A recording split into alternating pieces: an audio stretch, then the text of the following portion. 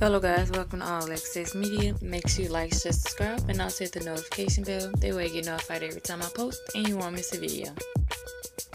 If you guys don't know, Kylie Jenner's birthday is coming up around the corner, and of course, Travis Scott did something extravagant.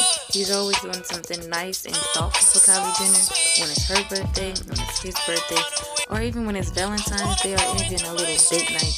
Travis Scott is always doing something extravagant for her. So this time he filled her whole downstairs of her house, of their house, with rose petals. And as you can see, Stormi was playing in it and it looked all nice and bright.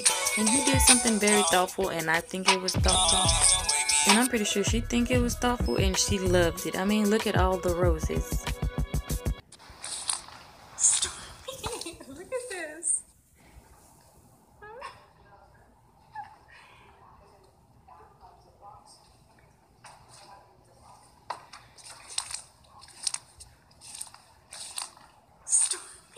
Look at this.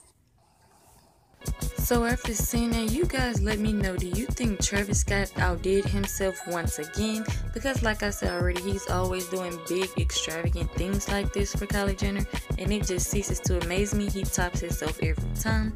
Anyways, you let me know what you think in the comment section. Also, make sure you like, share, subscribe, and also hit the notification bell. That way you get notified every time I post and you won't miss a video. Thanks for watching.